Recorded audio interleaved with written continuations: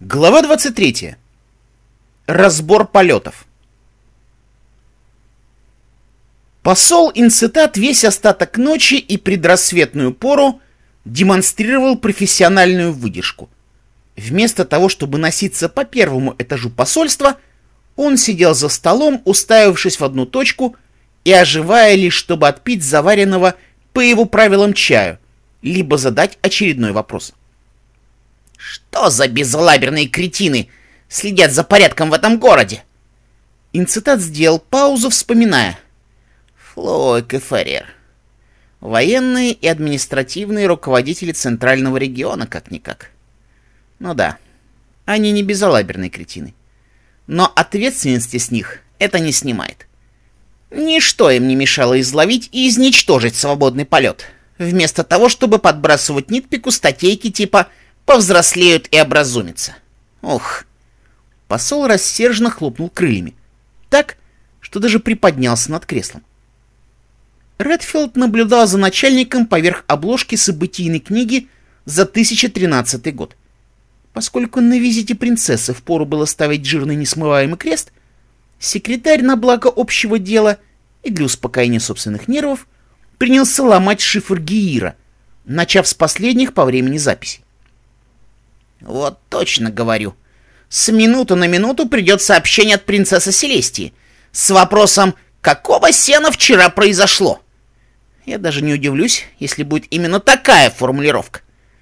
А мне нечего по существу ответить. Ничего определенного. Инцитат театрально воздел копыта к потолку.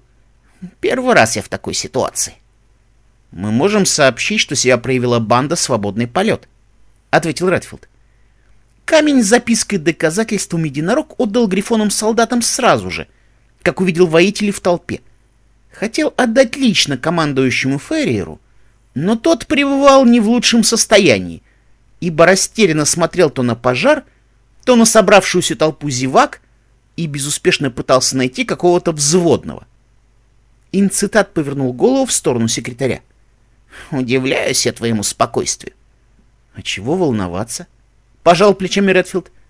Когда я секретарем в Стелбридже работал, повидал потоп, кристаллизацию всего персонала, нашествие чейнджлингов, взрыв мощной магической установки. Меня обманом заставили верить, что моя жена и сын мертвы. Как-то после всего этого теряешь склонность к панике. Пегас хмыкнул. «У нас очень мало информации по свободному полету», — рассуждал посол, ерзая в кресле. Я как-то не особо горел желанием лезть к грифонам, которые пони люто ненавидят. Надо наверстывать, но опять же с безопасного расстояния. Так. Он подтянул к себе лист бумаги и придвинул чернильный прибор. Я тебя сейчас отправлю в редакцию Нитпика. Напишу информационное сообщение от Селестии, так сказать, точку зрения эквестрийской стороны. Пусть Нитпик выпустит во всех газетах. Он вряд ли откажется, но уж постарайся говорить с ним убедительно. — Вы напишите, — уточнил Редфилд. — Разве точку зрения принцессы Селестии не должна сформулировать принцесса Селестия? — Как будто и делать больше нечего, — усмехнулся инцитат, берясь за перо. — Нет, в таких вещах она мне доверяет. А я стараюсь сочинять близко к ее письменному стилю. Так вот, ты отдашь Нитпику послание. Обязательно стребуй с него обещание, что он ни буквы в нем не поменяет, потому что этот хмырь может выбросить половину фраз, поменяв весь смысл. Пусть поклянется, что пустит печать все дословно. Значит, пока ты с ним это дело обсуждаешь... Посол потряс в воздухе пером, чтобы стряхнуть лишние чернила. Выясни, что ему есть сказать про свободный полет. Он давно собирает материалы по этой теме. Сдается мне, что в печать до сих пор они пошли не все. — Прежде чем задать вопрос, Редфилд подождал, пока посол напишет пару строчек и вернет перо в чернильницу. «А ваши планы на сегодня какие? Где я вас смогу найти после встречи с Нитпиком?» «Ты встреться с ним сперва», — не поднимая головы, ответил инцидат. «После вчерашних событий он может даже в редакции не объявиться. Будет летать от Грифона к Грифону. Я, если что, буду во дворце, где заседает Верховный Совет. Он сегодня собирается на экстренное заседание. Без эквестрийского представителя никак. Заодно попробую выяснить что-нибудь про свободный полет у градоначальников. Хотя, чувствую, Флоуик меня за дверь выставит, а Ферриер очень далек от этих дел. Что нужно?» Последняя фраза предназначалась охраннику посольства, чьи накопытники на пороге кабинета инцитат мог видеть даже глядя в стол. «Письмо от принцессы Селестии», — доложил Пегас в доспехах. Редфилд телекинезом перенес конверт через комнату. Послу даже не потребовалось подниматься из-за стола. «Еще чаю», — распорядился инцитат, распечатывая конверт. Редфилд тихо вздохнул, отложил свои занятия и пошел на кухню. На разбор письма послу понадобилось совсем немного времени. Чашка с блюдцем еще не успели опуститься на столешницу, как Пегас вернул лист бумаги в конверт и позволил себе короткую и усталую усмешку. За исключением слова на букву «С», содержание в точности, как я и предсказал. После разгрома поместья Гардиана бессонная ночь выдалась не только у работников посольства. В подвалах под казармами городской стражи вице-командующий Флоуик держал пойманного налетчика в бодрствующем и подвешенном состоянии. В прямом смысле. Узнику связали вместе четыре лапы и прицепили веревку на крюк. Раны на крыле молодому грифону бегло обработали, но больше никаких привилегий юнец по имени Рекрит не дождался. «Итак, поговорим о свободном полете», — предложил вице-командующий, удостоивший визитом подстреленную добычу. «Ничего не знаю! Отпустите меня!» Покачнулся подвешенный спиной вниз Рекрит. Флойк, стараясь находиться в поле зрения Грифона, взял прислоненный к стенке складной столик, отогнул ножки и поставил перед собой. Потом постучал в дверь. Согласно отданному ранее приказу, солдаты принесли пару наполненных едой тарелок и графин с кубком. «Вот скоты, меня без ужина оставили», — пояснил вице-командующий, краем глаза наблюдая, как облизывается Рекет. «Так что я позавтракаю прямо на работе. А ты повиси пока, подумай над своим поведением». Взяв двузубую вилку и столовый ножик, Флоик надрезал свежий недавно купленный зерновой пирог аромат которого чувствовали даже солдаты за дверью. Пленник, которого, согласно другому приказу, не кормили, с момента водворения в камеру, во все глаза смотрел на столик и тарелки, но пока что молчал. «Я тут недавно в газетенке рассказывал про ваш свободный полет», — прервал молчание вице-командующий.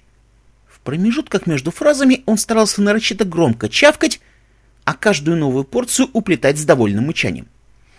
Пытался народ успокоить. Мол, вы не очень опасные, ерундой просто страдаете. Что вы еще не нашли в свое призвание? Но похоже, что теперь нашли. Ваше призвание все подряд разрушать. Флуик отставил в сторону наполовину съеденный пирог и придвинул тарелку с рыбным салатом. Запах сырой рыбы тоже являлся одним из инструментов воздействия. Но и Нец продолжал упорствовать, слушая бурчание своего желудка. «Ну так я тебя обрадую, потерянное ты чадо. На ближайшее время дом ты себе нашел. Да, сыровато, темновато. Соседи не особо приветливые. Но года через два ты начнешь по-настоящему любить эти стены. Даже на солнце выходить не захочешь». «Нет, мне нельзя здесь оставаться», — подал голос подвешенный птенец. «У меня бабушка слепая. Мне заботиться о ней надо. Она пропадет без меня. Ага. Усмехнулся вице-командующий, державший в лапе графин с фруктовым киселем. Внезапно вспомнил про свою бабушку. А бабушка твоя знает, что мазь живинку в лапы втираешь для одурения? Да-да. Мы следы этой дряни на твоих обмотках нашли. Рекрит сконфуженно покачнулся. Очевидно, понимал, что фактом употребления запрещенных снадобий гордиться не стоит. Особенно теперь, когда из всей толпы охочих да испробовать живинку птенцов, ответственность снес он один. Бабушка у него, значит. А ты о ней думал, когда в черные тряпки одевался? Ты о ней думал, когда летел чужой дом громить? Нет, пристыженно писнул юнец. Вот. Ну, теперь у тебя много времени, чтобы об этом подумать. — сообщил Флоуик и на какое-то время умолк. Его аппетита хватило на несколько ложек салата и полграфина киселя, после чего он снова вызвал из коридора стражников. «Я тут не доел немного», — сказал он, указывая на наполовину полной тарелки. «Выкиньте куда-нибудь. И передайте верхкому, если он на месте, что я сейчас к нему поднимусь». «Подождите, постойте!» — запротестовал Рекрит. «Я могу кое-что рассказать, но очень мало. Я почти ничего про других не знаю. У нас в группе никто про других не знает. Таковы правила». Флойк жестом остановил подчиненных, а потом другим жестом велел юному Грифону продолжать. «Я лично знаю только троих в своей группе», — торопливо начал тот, чуть раскачиваясь и переводя взгляд с вице-командующего на тарелки и обратно. «Над нами есть надзирающий. У других групп свои надзирающие. И только они знают, кто и в каких группах. А они получают приказы от Вестника. Кто такой Вестник, никто не знает. Он записками приказы отдает. «Давай имя своего надзирающего», — потребовал Флоик.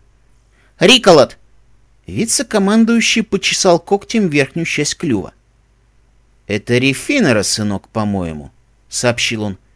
«Рефинера я хорошо знаю. Что ж, придется к нему зайти и огорчить». Бедняга Рефинер думает, что его птенец высшее образование получает, а он уличные банды координирует. Флоек повернулся к столу и отрезал небольшой кусочек пирога, положив его на лезвие ножа. «Ладно, заслужил». Он скинул кусок в приоткрытый клюв юного грифона, не особо заботясь о том, как тот в перевернутом состоянии будет глотать. «Разыщите в Нижнем городе слепую старуху, у которой внука зовут Рекрит», — приказал Флоек за дверями камеры, где пленник не мог его услышать. Без каких-либо угроз вежливо приведите сюда. Возможно, ей внучок больше расскажет, чем мне. Далее. В дом Рефинера надо направить двойку. Пусть задержат его сына Риколда. Или выяснят, где он. Нужно отловить этих надзирающих и вычислить, кто такой этот вестник, что заправляет свободным полетом. Во что бы то ни стало. Это дело государственной важности. Флоик подождал, пока каждый из присутствующих ответит уставным так точно и будет исполнено. В итоге рядом с ним остались только двое грифонов, провинившихся минувшим вечером. Вице-командующий узнал их лишь после небольшого раздумья. «А, вы двое. Любители живинки». Флоик толкнул дверь незанятой камеры слева от себя. «Вам сюда. Пока меня отвлекают дела поважнее, вы, мухи навозные, обживаете эти роскошные апартаменты. Потом я придумаю, какое жестокое наказание к вам применить. Вице-командующий лично проследил, чтобы виновные бойцы оставили оружие и обмундирование и вошли в холодную камеру, не одетые и с пустыми лапами, после чего также лично задвинул засов на двери и закрыл окошко, предназначенное для наблюдения за арестованными. Этих болванов завтра утром выпустишь. Тихо наказал он Грифону, смотрящему за камерами. Тот молча кивнул. Редфилд предположил, что ему несказанно повезло. Главный редактор всего в республике заглянул на полчаса в свой офис ровно в то же самое время, когда секретарь посольства попросил о встрече. И теперь единорог любовался на странное сочетание деревянных стен и каменного камина, с выходившей на крышу трубой. Наличие камина отличало офис главного редактора от прочих помещений издательства. Складывалось впечатление, что Нитпик на собственные средства построил себе мансарду из редкого в столице дерева, пожелав сделать ее всепогодно удобной. Вставил двойные окна от сквозняков, завел камин для обогрева и дополнительную форточку на случай жары. Посреди этой идеальной с точки зрения комфорта комнаты стоял палисандровый стол, который впечатлял природной текстурой дерева, подчеркнутой почти бесцветным лаком. На стенах, полках и столе было расставлено много позолоченных вещей, но самую важную для себя вещь Нитпик еще и подсветил тремя лампами. Впрочем, свет был необходим, ибо вещью этой являлась печатная машинка — которой Грифон уже не один раз успел похвастаться. Даже при первом визите Редфилда в офис он назвал устройство своей рабочей лошадкой и несколько раз потом извинялся, решив, что оскорбил неосторожной метафорой весь эквестрийский народ. «Доброе утро, Редфилд. Слушаю вас», — сказал Нитпик, изучая на просвет красную катушку с ленты для машинки, которую держал в когтях. Посол Инцитат передает сообщение. От принцессы Селестии. Это официальная коммунике эквестрийской стороны по вчерашнему происшествию. Угу. Если это все, то оставьте, и я его вставлю в завтрашний выпуск «Крыльев правды». Грифон перевернул катушку с лентой и принялся крепить ее в недрах машинки. Редфилд внимательно следил за манипуляциями богача, не отказывающего себе ни в каких удовольствиях, но в рабочих вопросах бывшего на редкость прижимистым. Серый единорог порылся в дорожной сумке, в которой, кроме заветного послания, лежали все тот же испорченный томик про Деринду. Нитпик нацепил на клюв небольшие очки и пробежал взглядом по строчкам протянутого Редфилдом листка. «Да, хорошо. Я это опубликую», — ответил Грифон и положил листок слева от печатной машинки, после чего протянул лапу к едва не рассыпающейся стопке конвертов, жаждавших его внимания. Инцитат особо настаивал, чтобы я с вас взял обещание. Прямо глядя в глаза замершего с вытянутой лапы главного редактора, произнес Ратфилд, что вы ни слова не поменяете в этом сообщении. Солидный Грифон вздохнул, вновь взял листок и прочел текст еще раз. Несколько наклонов головы из стороны в сторону, как решил Ратфилд, позволили ему взвесить возможные проблемы и последствия. Обещаю, что я это опубликую дословно. Кивнул по завершении раздумий Нитпик и положил листок справа от машинки. Конверт с пометкой «Срочно» и его содержимое, оказавшееся каким-то ерундовым региональным извещением, в итоге полетели в камин с шуршанием напомнив о скопившейся там груди макулатуры различной степени желтизны, изорванности и скомканности. В горке бумажных комков глаз единорога углядел нечто необычное, почти засыпанную приготовленной к уничтожению бумагой зеленую катушку с лентой для печатной машинки. «Это что, у вас массовая ликвидация неудачных статей?» — поинтересовался единорог. Нитпик шумно вздохнул. «А, это я в столе разбирался. Впервые за четыре года. От кучи ненужных вещей избавился. Спалить надо бы это все, пока я здесь». Нитпик с проворством, не сочетавшимся с его возрастом и шикарным костюмом, метнулся мимо гостя к дверям кабинета. Он предпочитал лично выглядывать и давать поручения Грифине-секретарю. Так было проще выяснить, чем она в данный момент занята. Предыдущие пять секретарш лишились места за табличку «Отошла всего на пять минут». «Гизель, где у меня каминные спички?» — спросил главный редактор. И несколько секунд наблюдал, как растерянно хлопает глазами Грифина, вообще не подозревающая о существовании такого предмета. На всякий случай она стала искать что-то похожее на спички прямо перед собой, возле перекидного календаря.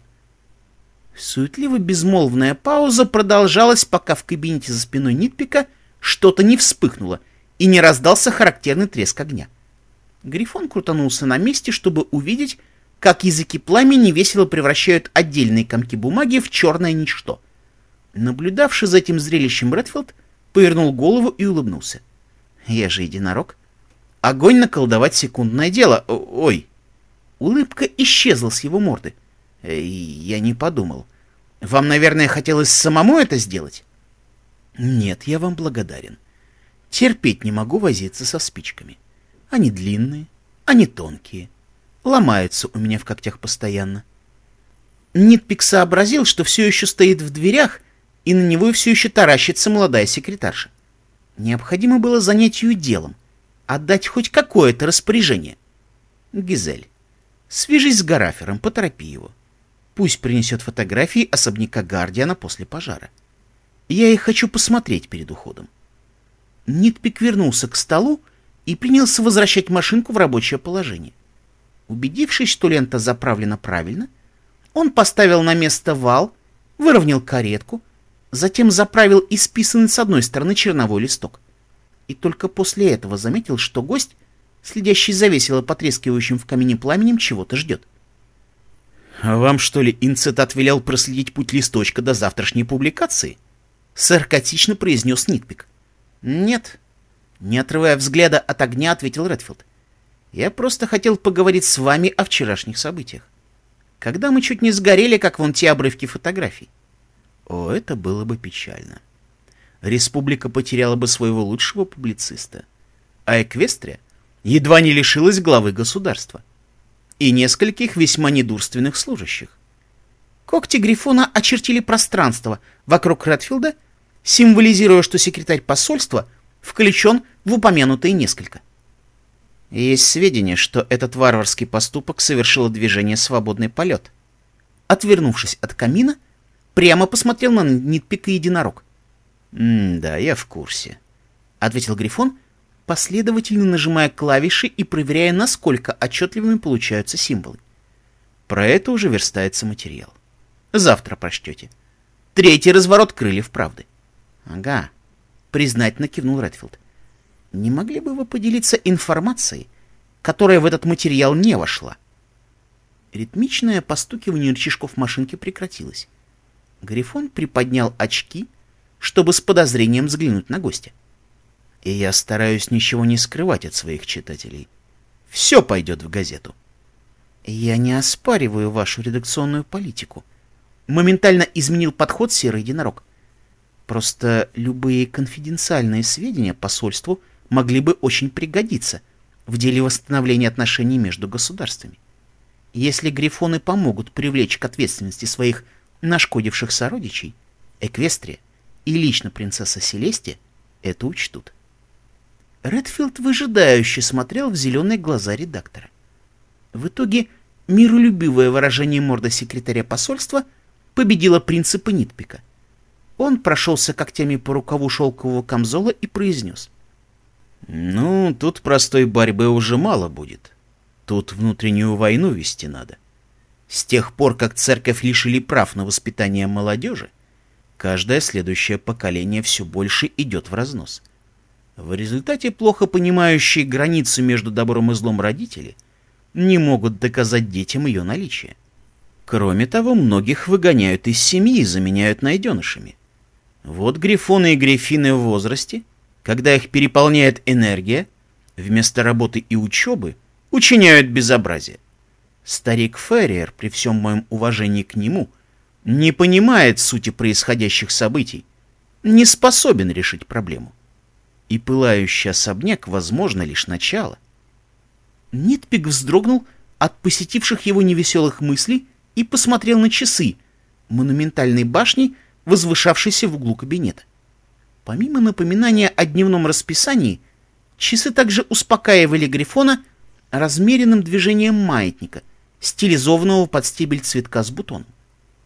«Давайте так», — предложил занятый Грифон. «Разговоры про свободный полет затянутся часа на два-три. А у меня времени на вас совсем нет, не обижайтесь. Я загляну в посольство в начале следующей недели. Обещаю. Занесу вам кое-какие справки, что собирал насчет свободного полета, и личное мнение в довесок. Устроит?» «Вполне», — радостно ответил Редфилд. Спасибо, что уделили время. На выходе единорог едва не столкнулся с Грифоном-корреспондентом. Гарафер принес фотографии на суд редактора.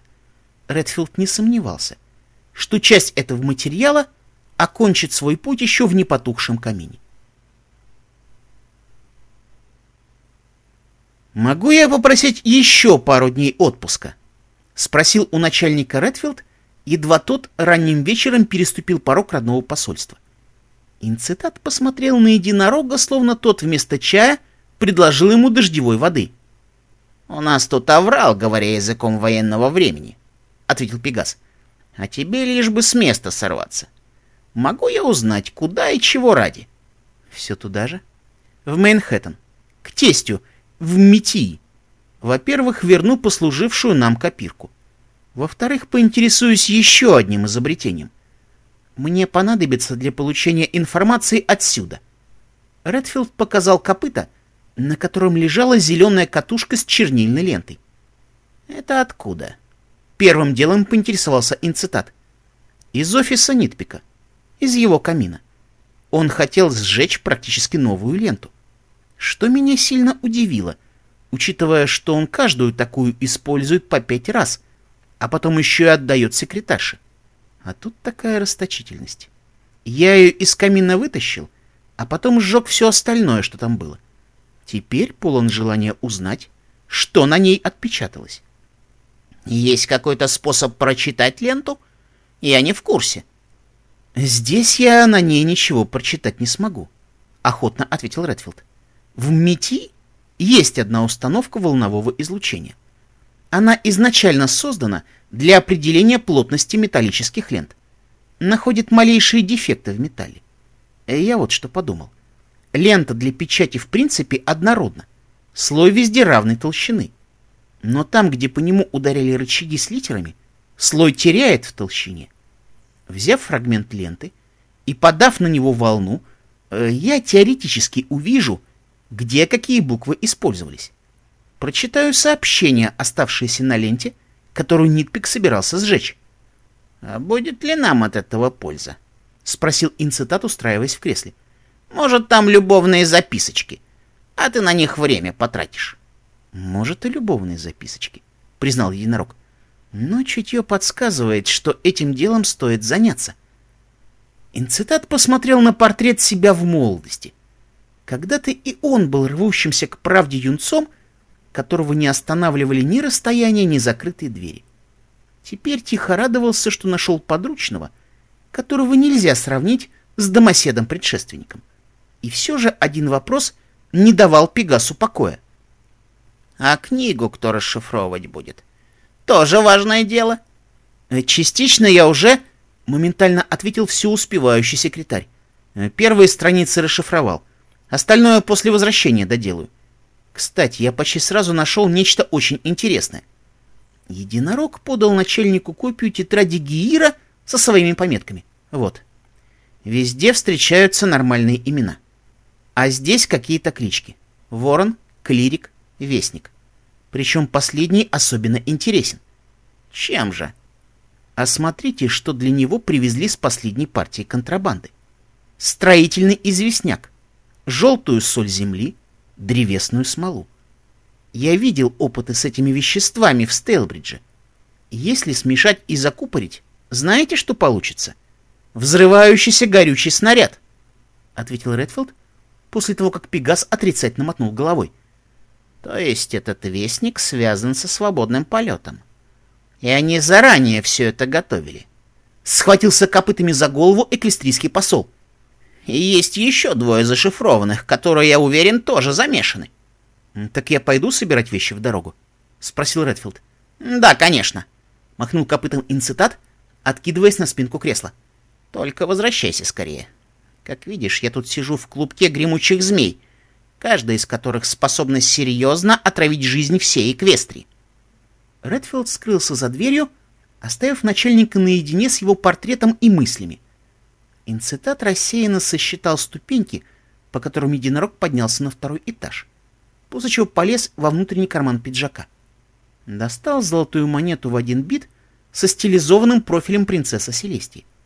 Эта монета была в конверте вместе с письмом, но при секретаре посол вытаскивать ее не стал, потому что излишне любопытный и рассудительный помощник должен был оставаться в неведении относительно определенных вещей. Инцитат взял с письменного стола ножик и принялся осторожно водить им по ребру монеты. Отточенное лезвие нашло маленькую трещину, и Пегас осторожно, с точно рассчитанным усилием надавил на нож. Он медленно вращал монету, продолжая прижимать лезвие к ее ребру. И в итоге она распалась на две половинки, между которыми скрывалась бумажка. Крохотный клочок с единственным символом, не менее крохотным треугольником. В кабинете посла было много необычных вещей, привлекавших внимание посетителей. Один из них был стоящий на книжной полке большой микроскоп. Инцитат любил всем рассказывать, как получил его в подарок от одного щедрого пони, понятия не имевшего, чем занимаются посольские работники. На деле микроскоп был очень даже необходим. Пегас перенес его на стол и сунул бумажку под объектив. Только при стократном увеличении можно было рассмотреть, что стороны синего треугольника не являются сплошными линиями, а представляют собой ряды букв, складывающиеся в очередное послание. Чтобы его составить, принцесса использовала нормальный лист бумаги, особые чернила и многократно применила уменьшающее заклинание. «Такс», — прошептал посол, когда ознакомился с содержимым всех сторон треугольника. «А вот это уже серьезно». Дома, нависающие над морем в юго-западной части острова, считались аварийными из-за огромной трещины, которая прочертила каменное основание Ивсфилда. Обитатели чудесным образом держащихся на месте построек городская управа эвакуировала в кварталы северной части столицы, переселив в дополнительно отстроенные этажи. Могла и не переселять, да и не собиралась, в общем-то, но верховный командующий Ферриер, когда ему сообщили о печальном состоянии кварталов, настучал паре бюрократов по клюву, и в администрации засуетились. Приняли решение, что восстановление скального основания, частично разрушенного, нецелеобразно, а дюжина домов со дня на день обречена сгинуть в море. Прогноз аварийное жилье выполняло неспешно, а за пять лет в пустовавших домах лишь перекосило дверные и оконные проемы. Из прямоугольников они превратились в трапеции. Среди грифонов имелось немалое число смельчаков, готовых жить и в таких домах, всяко лучше, чем в гнездах под открытым небом. Но юго-западную часть города они облетали стороной. Гнали их оттуда не конкуренты, не городская управа и даже не военные силы республики, а личности несколько более опасные, использовавшие естественные трещины скал и сделанные когтями ниши для хранения контрабанды и средств, вырученных от ее продажи. Народ знал, что гости из частично разрушенных домов целыми и невредимыми уходят редко. Бандиты, напротив, зная все проломы в стенах и подковообразные туннели, при необходимости могли покинуть квартал свободно и быстро.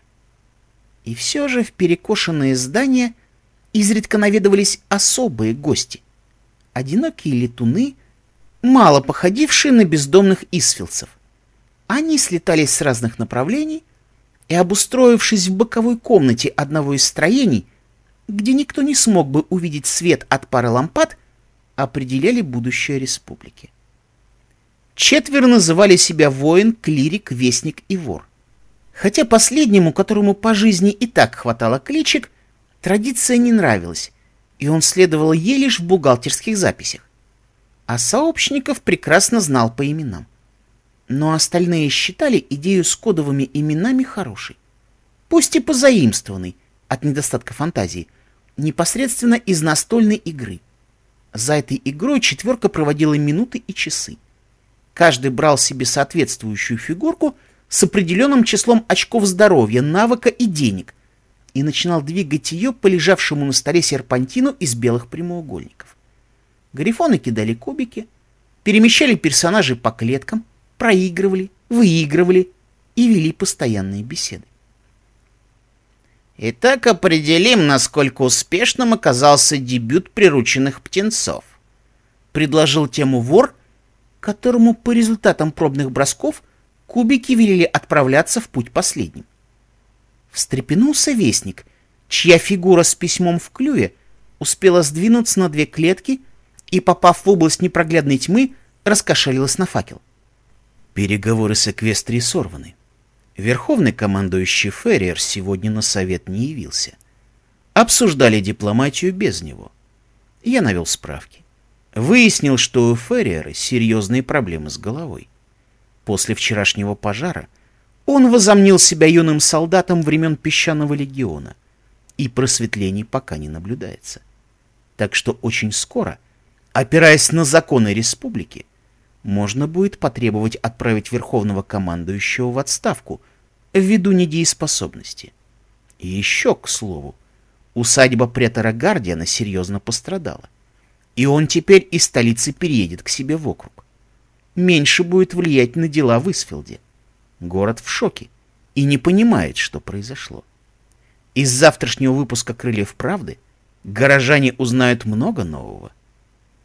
Пара кубиков тихо стукнулась о столешницу. Фигурка воина, прижимавшего к себе меч с ромбовидным лезвием, обогнала вестника на четыре клетки. «Кого-то из птенцов поймали, как я слышал?» — спросил Грифон, игравший за воина. «Да», — поморщился собеседник. Надзирающий за группой доложил, что одного бойца не досчитались. И Флоуик, судя по всему, взял след. Начались обыски, допросы. Фигура ради удачного броска, закатавшая рукава белого балахона, сделала в сторону вестника успокаивающий жест. Церковь надежно укроет птенцов. Вице-командующий до них не доберется. Кубики показали три точки и цифру семь. Игрушечный клирик, вырезанный из дерева с такой детальностью, что можно было различить все символы веры, прошел на три клетки вперед и вытащил карточку с седьмым номером на рубашке. Карточка сулила обогащение на 40 перьев, если первый кубик упадет на единицу. Но клирик, так и не увидев за три попытки нужную грань кубика, вернул карточку стопку. Двойки грифонов снуют даже в тоннелях под Исфилдом, что отнюдь не прибавляет мне радости, — сообщил вор, крутивший в когтях свою фигурку. Она была самой новой и самой блестящей. Предыдущий экземпляр из игрового набора потерялся, поэтому ему пришлось заказать у игрушечных дел мастера нового вора. Если Флоик заменит Ферриера на должности, он вообще из-под контроля выйдет. Никто ему будет не указ. К счастью, Флоик не успеет насладиться своими властными полномочиями. Наблюдавший за большим игральным кубиком вор умолчал, что волнуется совсем не из-за безбашенных птенцов-налетчиков. Обыски нижних гротов грозили ему потерей пары складов с дорогостоящими товарами, которые, естественно, были избавлены от такого бремени, как прохождение таможни и налогообложения. «Через два часа соберется закрытый трибунал командиров округов», — доложил воин, злорадно наблюдая, как соперник, не готовый к указанному в карточке противостоянию, теряет половину игрового здоровья. Я обеспечил максимальный сбор. Но без Гардиана и прочих принципиально честных личностей. Против Флоуэка выдвинут обвинения в государственной измене. За организацию и поддержку свободного полета. Обвинение за подписью Ферриера, конечно. Ох, и здоровский материал получится. Пробормотал вестник, который искренне переживал, что новости о состоявшемся совете, отставке одного и аресте второго градоначальника для читателей опоздают на день-другой. Как интересно. Позволил себе замечание клирик. Только что я слышал, что верховный командующий не в состоянии вести государственные дела. А чтобы обеспечить его подпись, его лапа не нужна, — пояснил воин. Я позавчера также приказ второму песчаному легиону составил. От имени Феррера с печатью центрального штаба. Ответ пришел? Нет еще. Курьерская служба работает медленно. Но это песчаный легион. Самое дисциплинированное воинское подразделение. Легион вернется, и мы возьмем его под контроль. Вор смерил воина неодобрительным взглядом. По мнению устроителя настольных забав, тот не уделял должного внимания воинскому подразделению, которое очень сильно могло повлиять на планы четверки. Но высказаться по этому поводу не успел. Снова настала его очередь двигать фигурку. Когда вор и его деревянный прообраз двумя удачными бросками кубика совладали с выпавшей на их долю стихией, первый напрочь забыл, что именно хотел сказать, потому сменил тему. Мои ребята влезли сегодня в кабинет Флоуэка и в его казенную квартиру, сообщил он воину, прикидывающему, какую из путей на развилке выбрать. Оставили там кое-что. Флоуэк согласится, чтобы у него провели обыск по требованию трибунала. Он считает, что скрывать ему нечего. Значит, запоминай. В средний ящик стола положили трафарет, с которым птенцы оставляли записки на булыжниках. В учебнике по ближнему бою между страницами несколько приказов, напечатанных от имени Вестника. В квартире Флоуэка в платяном шкафу, я гарантирую, найдется несколько неношенных комплектов черной одежды. Игравший фигуркой служителя церкви Рейфон по результатам предыдущего хода пропускал текущий.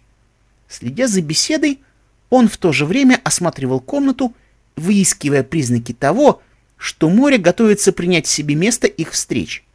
Четверо игроков украсили тайное логово, стащив для него вещи, списанные как мусор, но мусором отнюдь не выглядевшие. Погнутый золотой подсвечник, пострадавший от моли ковер с символом великого неба, содержащий опечатку календарь на дорогой глянцевой бумаге, тумбочка из редкой континентальной породы дерева с половиной дверцы. Все это собиралось с конкретной целью — создать уют и конкретным расчетом. Бросить не жалея, если домик окончательно решит обрушиться в море. Если добавить к этому поведение вице-командующего на приеме, а именно его непочтительность в разговоре с ее высочеством, — сказал клирик, — то бедняги просто не отвертеться. Еще его интервью в «Крыльях правды» вспомните, — предложил Вестник. Он там чуть ли не с гордостью про свободный полет рассказывал. Ну, во всяком случае, так фразы скомпонованы. Воин кивнул и принялся что-то подсчитывать на когтях. Даже если до ареста не дойдет, Трибунал обязательно снимет Флоуэка с должности. Для проведения расследования. На место вице-кома я предложу свою кандидатуру. А мои средства обеспечат поддержку твоей кандидатуры. Уверенный тон вора не оставлял сомнений. Нужное количество отнюдь не игрового золота упаковано по мешкам и распределено по адресатам, едва ли не с прошлой недели. В вопросах финансирования интересов четверки не существовало Грифона организованнее, чем тот, что однозначно проигрывал нынешний раунд настольной забавы. «На юго-западе претором станет Глоринг», — продолжал доклад воин, для наглядности загибая когти. «И тогда перевес в Совете будет у нас. Минимум 4 к 3 при голосовании за инициативу КУС». Вестник, зябко кутавшийся в камзол с меховым воротом, — имел собственные когти и собственные расчеты с их загибанием, о чем не заметил сообщить. Ты упускаешь из виду, что на юге и юго-востоке засели друзья Флоуика. Когда мы его сместим с поста, представители этих регионов не обрадуются и, скорее всего, перебегут в лагерь другого воителя, у которого есть авторитет — Гардиана. А поскольку северные провинции и так признают его влияние, это будет два к пяти не в нашу пользу. Вор, без особых надежд, бросивший кубик, плюнул на каменный пол, выразив как раздражение неудачей, его игровое воплощение сдвинулось всего на одну клетку вперед, так и свое отношение к собеседникам. Мы уже упустили одну возможность дискредитировать Совет и создать КУС во время кризиса с ураганными островами. — недовольным тоном напомнил он. «И хорошо, что упустили». Незамедлительно откликнулся клирик. Война с Эквестрией стала бы огромной ошибкой. Поэтому мы и предложили все усилия, чтобы утихомирить общество. Позволили инцитату одержать дипломатическую победу. Говоривший Грифон поднял взгляд и заметил ироничные усмешки собеседников. Вы очень зря недооцениваете эквестрийского посла. — его одного бояться надо не меньше, чем всего песчаного легиона. Невезучий вор, фигурке которого осталось богатство на пару ходов, покрутил в лапе двадцатигранный кубик с цифрами и передал его Грифону слева, гревшему желанием первым добраться до края игровой доски, а сам продолжил рассуждать вслух. Идти к войне смысла нет. К счастью, вместо этого можно использовать армию юных монстров — не способных отличить хорошее от плохого. Используйте их, чтобы весь город взвыл, а совет признался в своем бессилии. Тогда никакой Гардиан ничего остановить не сможет, и мы подтолкнем республику к государственным реформам. Инициатива КУС должна быть реализована, пока обстоятельства не изменились. То есть юные дарования из свободного полета — должны почаще демонстрировать свои таланты, уточнил Грифон в балахоне, фигурке которого повезло разминуться с клеткой, отбрасывающей к самому старту. Да. Народ нервничает, а должен быть в панике. Надо заставить его отказаться от старого мышления. Навязать новое. Убедить в бесполезности совета. Убедить в необходимости Кууса. Пора вбить в каждую голову, что ничего хорошего грифоны от нынешних политиков не дождутся. Но если выступит в поддержку Комитета управления и стабилизации ля-ля-ля, дальше сами придумаете. Не птенчики малые. Махнул лапой вор. Не птенчики малые какое-то время сидели задумчиво, постукивая когтями по подлокотникам кресел, после чего вернулись к приключениям деревянных фигурок в сплетении белых разлинованных путей. Посол Инцитат едва не отправил тяжелый бронзовый канделябр в сторону разбудившего его гвардейца. Но тот замаха не испугался.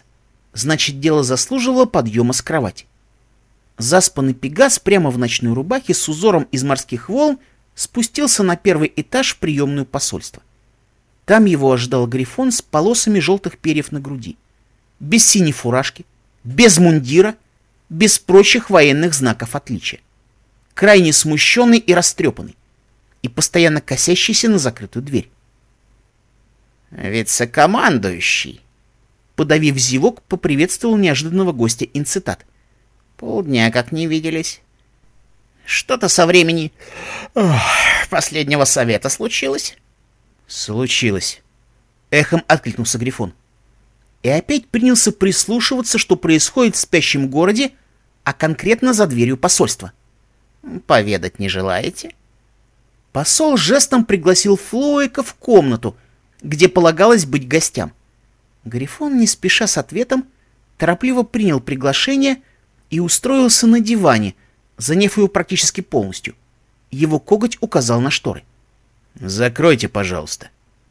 Перед тем, как лишить себя вида ночного города, инцитат подал охранникам условный сигнал. Те отправились запирать двери на все замки и опускать все ставни. До отдельного распоряжения инцитата посольство переходило на осадное положение. «Чаю, может быть, для разговорчивости?» — спросил Пегас у нервно потирающего передние лапы Грифона. «Э, «Чего-то покрепче, если можно», — ответил Флоуик. «Последние два дня такие, что врагу не пожелаешь. Я теперь уже и не вице-командующий. И вообще ничем не командующий. Я изменник, предатель республики. Меня... Меня арестовать хотели минут двадцать назад. Да что вы говорите? С подчеркнутым изумлением произнес инцитат, отпирая винный шкафчик.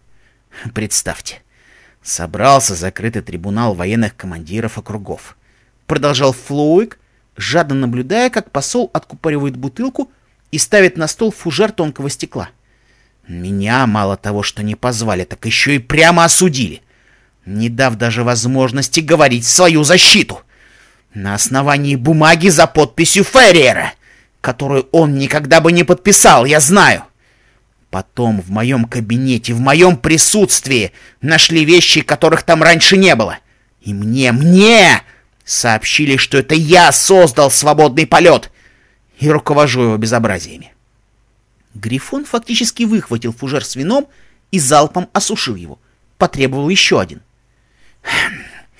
Повезло, что деятели эти трибунальные. Мой арест поручили моим же подчиненным, которые не такие тупые и коварные. Рядовые бойцы, которых я не первый год наставляю, прекрасно знают, что я скорее сердце себе вырежу, чем начну поддерживать что-то вроде свободного полета. В общем, двойка, которая меня конвоировала, соизволила отвернуться, чтобы я на них якобы напал. И сбежал из-под ареста. Командующий Ферриер может как-то на все повлиять. Мой наставник не может повлиять даже на ремень от собственной сабли. Я навестил его сегодня и сообщу вам... Верховный командующий нездоров. Очень, есть не сказать совсем. Он не узнает супругу, не узнает меня — Бормочет что-то про поход в Майоританию и военные сборы. Врачи говорят, что память старика из-за стресса скакнула на несколько десятков лет в прошлое. Но тело-то моложе не стало. И Ферриер даже пуговицы на мундире застегнуть не в состоянии. Просто кошмар! Очевидно, что он никаких документов против меня не подписывал. И подписать не мог. Физически. Верхком не в своем уме. И потому можно не ждать от него заявления, что подпись на документах фальшивая. Инцитат продолжал понимающе кивать лежащему на диване гостю. Хотя понимание в голове у посла оставалось все меньше. В столице республики, по мнению Пегаса, разлилось настоящее гнилое болото из корыстных интересов, в котором непонятно было, где опора, а где трясина. Эх, надо будет ту двойку к награде представить, когда все в норму вернется. Напомнил себе Флоуик, повторно избавляя фужер от содержимого. Мать-перемать, какая в подхвосте норма! Ферриер невменяем.